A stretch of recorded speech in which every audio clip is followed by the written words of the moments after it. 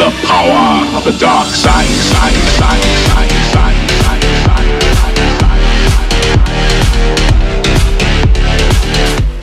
Yo, yo, yo. Und hallo und herzlich willkommen zu einer weiteren Folge von Star Wars Battlefront. Ja, und äh, heute wieder eine nachkommentierte Folge. Es geht nämlich heute Gefecht. Eishöhlen mit den Rebellanten. Ja, und äh, bevor es hier richtig losgeht, erstmal ein Schluck aus der Pulle. Hier ist die Pulle. Ich stehe nämlich gerade vor dem Mikro und ähm,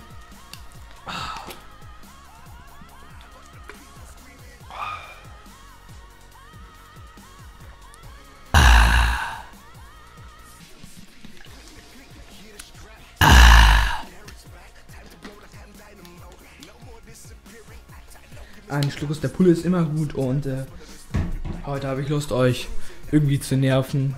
Blasterkanone. Ja, ähm, eigentlich äh, hatte ich diese Folge schon produziert.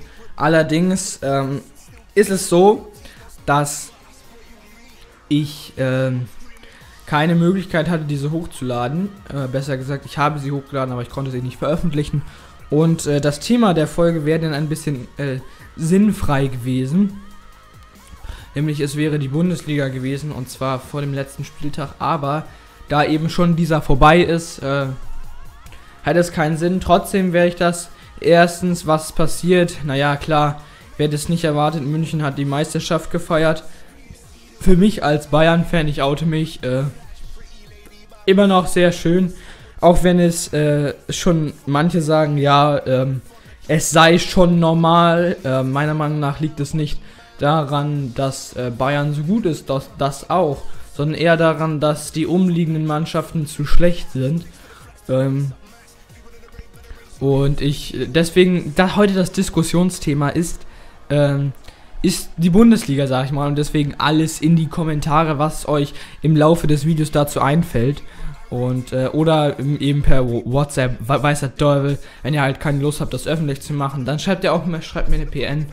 Äh, ihr kennt die Wege und ihr seid auch nicht doof. Ähm, und äh, ich äh, habe mir nämlich auch die Meisterfeier des FC Bayern München angesehen. Ich meine, ich bin ein Fan, ja. Aber obwohl ich nicht der größte Fan bin, also es gibt durchaus größere Fans, also ich bin nicht so der Ultra-Typ. Ähm, meiner Meinung nach ist es aber nicht normal quasi, dass München die Meisterschaft holt, denn es ist immer noch eigentlich die schwerste aller äh, Meisterschaften, denn äh, auch wenn man nicht unbedingt, das ist, das finde ich allein schon nicht bitter genug, aber schlecht, da, man kommt ja nicht so wirklich häufig auf äh, gute Mannschaften in der Bundesliga, zumindest der FC Bayern München. BVB ist natürlich gut. Äh, man kann, ja, da hört es dann auch schon auf. Bayer Leverkusen kann mal was bringen. Gladbach kriegt auch mal was hin. Aber die sind einfach nicht so konstant. Es hängt natürlich auch wirklich an den Spielern, da brauchen wir nicht diskutieren, woran das liegt. Es liegt auch am Geld, aber ähm, das ist traurig, dass äh, man muss ja ist einfach so sagen, dass Bayern die einzige Mannschaft ist, die äh, ähm, tatsächlich so gut ist. Ich meine, wenn man sich die anderen Länder anguckt, schauen wir uns England an. Da sind Investoren, da sind Investoren genug. Da haben wir zum einen äh, den FC Chelsea, der ist von, ich weiß nicht, ob das ein Russe ist, auf jeden Fall ist er ja aufgekauft. Dann haben wir äh, die Manchester City, die können was und äh, das sind schon mal zwei Top-Mannschaften. Dazu kommt natürlich Menu, Liverpool. Ich meine, das sind Traditionsclubs, das will ich auch unterstreichen. Aber ähm, in Deutschland haben wir äh, Hoffenheim, das ist aber auch nur, naja, eigentlich ein Mittelklassiker. Das ist eigentlich ein kleines Dorf, was einfach aufgekauft wurde. Kann man einfach nur so sagen. Und dann hat es sich irgendwie vorge, vorge hat mit Geld um sich geworfen, hat es dann geholt äh, die, und ist dann in die Bundesliga gekommen.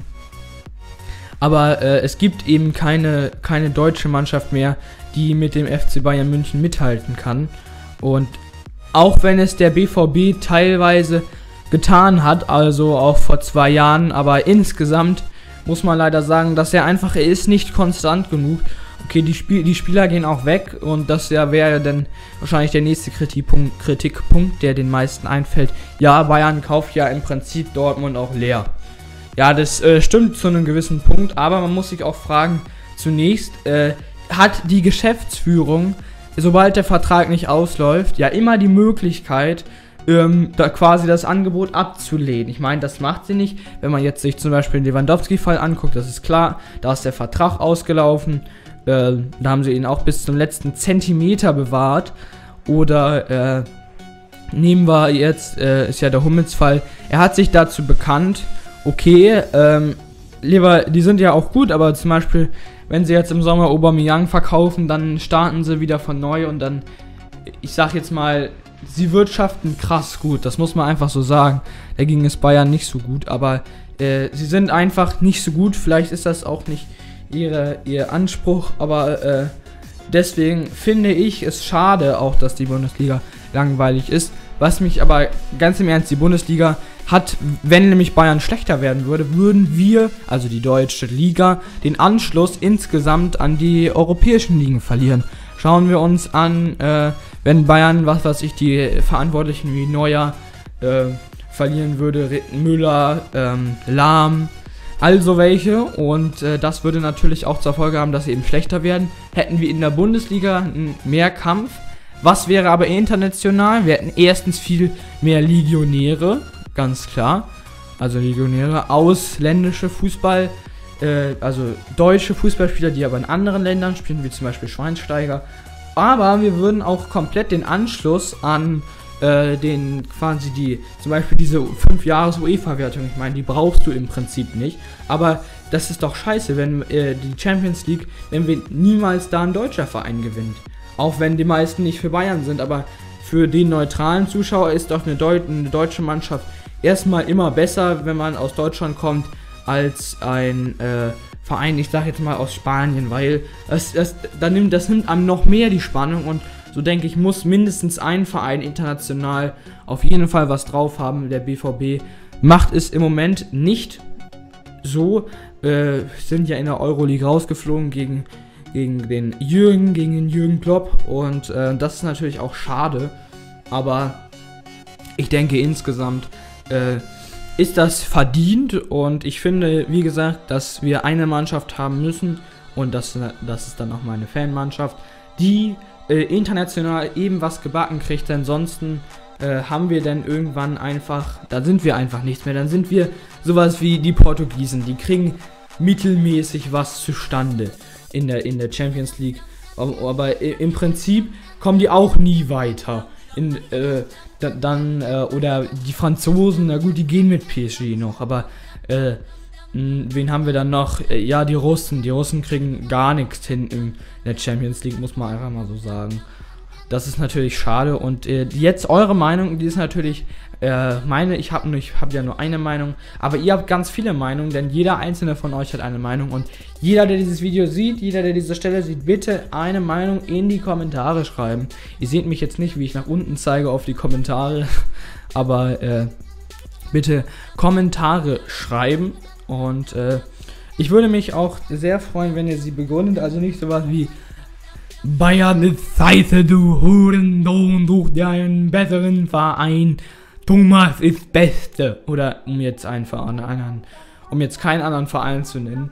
Sondern sagt irgendwie, ja, ich finde, was weiß ich, Bayern Müll, da ich bin natürlich ein Fan und ich mag regionale Vereine, brabbel, brabbel, brabbel. Ich kann es zwar nicht so verstehen, aber ich würde eure Meinung trotzdem gerne hören, denn ich kann sie bestimmt auch nachvollziehen.